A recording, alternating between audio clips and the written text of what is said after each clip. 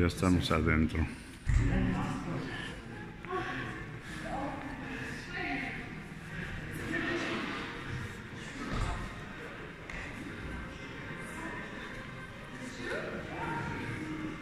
Aquí está el gran zapato. La el gran bota, digo.